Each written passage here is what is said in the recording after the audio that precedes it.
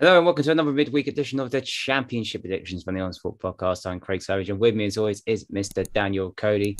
We'll do the recap of the weekend's action, and obviously this one in the penultimate Championship Weekly predictions. But we've got four games. We'll start off with Barnsley versus Blackpool. Uh, well, Barnsley now relegated and managerless. They lost 2 1 to Huddersfield on Friday night. Blackpool drew 1 0 with Luton. Well, I'll do your plug for you first, Craig, because uh, the Barnsley Manager special will be somewhere in the eye above. Uh, I watched Luton Blackpool on uh, at the ground. You obviously will have seen it; it was televised, but it it wasn't a great game. It was two sides that didn't do a huge amount to win the game. There was lots of scrappiness, but ultimately, despite Blackpool maybe just edging it in terms of open play, they were very fortunate because Richard Keogh in the last minute got the softest free kick I think we'll ever see. Ultimately, otherwise, Blackpool were themselves away from home. They were solid, they were fairly disciplined, they attacked at speed on the counter attack.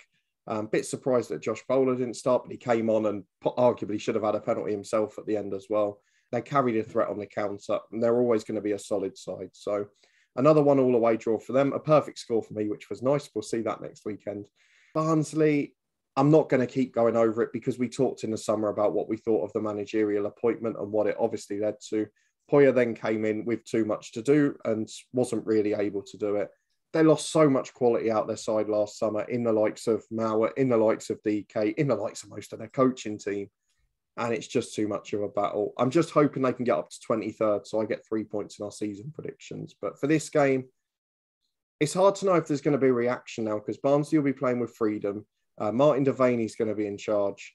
I think they might win it because it's the way this always works, isn't it? They've got nothing to play for. There's no pressure. Blackpool have got nothing to play for either. They've had a solid season. I'm going to go against all odds 3 1 Barnsley. There's no explanation behind that. Um, I'm going to go for a 2 0 Blackpool win it's, it's just been a disastrous season for Barnsley. Um, Blackpool, on the other hand, yeah, obviously they they were all right. They were fine, nothing special. Uh, CJ Hamilton was probably their best player. Could have had an extra. They could have gave away a penalty themselves. Anderson on Snodgrass, which was a bit, which which was very clumsy, and then the, the disallowed goal right at the end, which it's hor- horrendously bad. End of the day, I think the point was probably a good, is a fair result of Luton Blackpool wasn't, a, I said, wasn't a great game. Felt like an end of season game from nothing to play for, even though Luton had something grinding on it. But no, it was a solid away performance for Blackpool. But I think they'll get three points here. I'm going by two goals to nil. Right, big game, big big game. Already promoted Fulham. They're at home to Nottingham Forest, chasing that second spot. Uh, Fulham drew one with Bournemouth, and Nottingham Forest beat Peterborough by a goal to nil big away win. There wasn't a huge amount of quality in the Peterborough Forest game, but the ball from Brennan Johnson and the header back where it came from from Sam Surridge was just delightful. It was worthy of winning the match. Very different to the uh, Jack Colback strike on the Monday night, but all as effective and a good three points for them. Obviously relegated Peterborough at the same time. Fulham, well, it was just carnage, wasn't it? It was a dirty game. There were loads of fouls. There were loads of flare-ups obviously culminating in Dominic Solanke's 98th minute penalty, Marco Silva going absolutely mad and getting sent off. So with him suspended, with Forest in the form of their lives, I mean, take out the Luton game, they've been invincible for ages. I know Fulham haven't wrapped up the title yet, but they're going to because Bournemouth won't win all their games. I think Forest win it because there's more riding on it for them. It's as simple as that. I don't see many people stopping them. Certainly not teams that try to be expansive, but they're not going to keep the clean sheet that they normally do. So I'm going to go 2 1 to Forest. I'm still predicting that they'll catch Bournemouth. This is a toughie, real toughie. Forest are doing fine. Fulham got the job done, but Fulham do tend to concede goals. You think a team that wins the league, you think, yeah, they're going to keep loads of clean sheets and loads of but it's not as obvious as you make it out. They do concede the odd goal here and there, and obviously conceding the 98th minute sucks. But what can you do? Really, it's it's a stupid challenge by Harry Wilson anyway, um, especially that late in the game. Once again, I moan about Swansea with game management. I'm going to moan about Fulham now with game management. Forest obviously got more pressure on them because obviously they're still riding, going for that automatic spot. I think they're going to do it by the odd goal. So I'm going to go 1 0 to Nottingham Forest. Uh, by the way, Craig, that might have been the closest goal line technology decision I've ever seen. Do you know? I don't think that looked like it went over the line. It didn't look it, did it? No. It was really weird.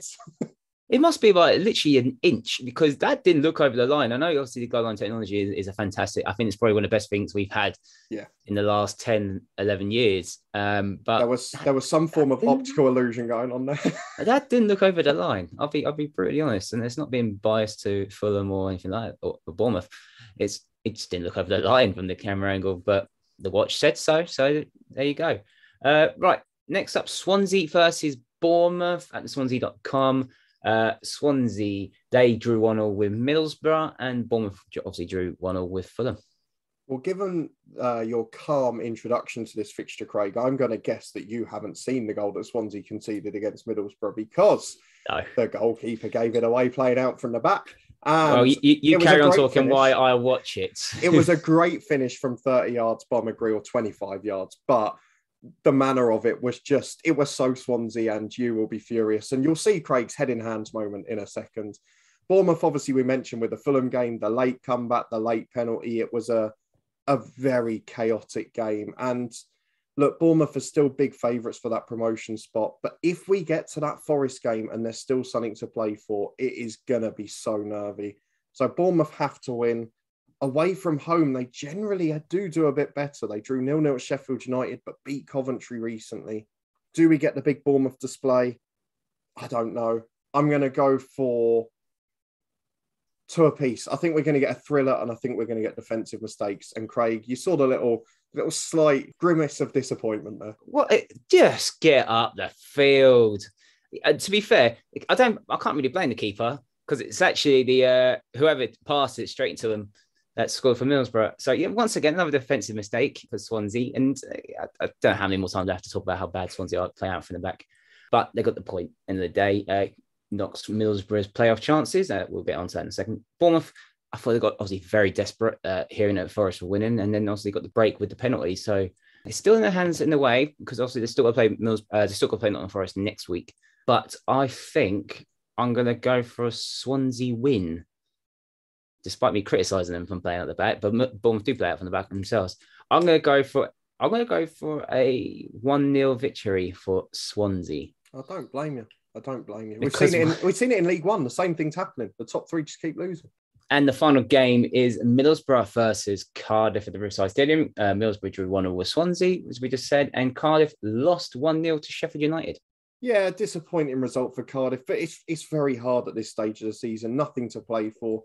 Sheffield United obviously had everything to play for, and look, we've seen some of Cardiff's defending recently. To only concede one goal in each of the last two games is probably a positive, but as we saw against Luton, it's just managing those game situations. And I mean, you talked about it with Swansea. Those sides that are in the, the top half of the bottom half, that's probably been the difference this season, isn't it? Is managing games in those situations. But ultimately, Sheffield United edged the game and got the win.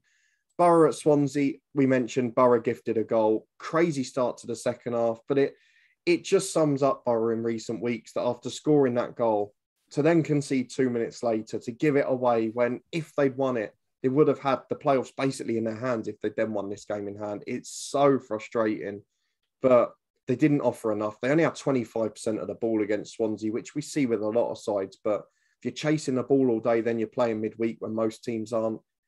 I wonder if that will be a hindrance as well. So I think Middlesbrough will win this game. They're a better side at home. We know that. Cardiff have been in poor form, but I still don't think it will be enough. I'm going to go for a, an edgy, scraped 2 0 victory with the second goal coming late on the counter. And that's what Craig was going for. Yeah, I was going to go 2 0 Middlesbrough. I'm going to go, uh, I'm going to go 3 1 instead. Middlesbrough's form is t- completely out of whack now. Uh, They really don't want to be in the playoffs, as that looks like, but I think they're happy with the two FA Cup wins. Cardiff, obviously, the season's done, they've been done for ages, it's just been totally out of form. Changes are needed probably at Cardiff as well. Probably a lot of, a clear out. See what Steve Morison wants to bring in. But yeah, Middlesbrough, I think they'll be comfortable 3 1 win.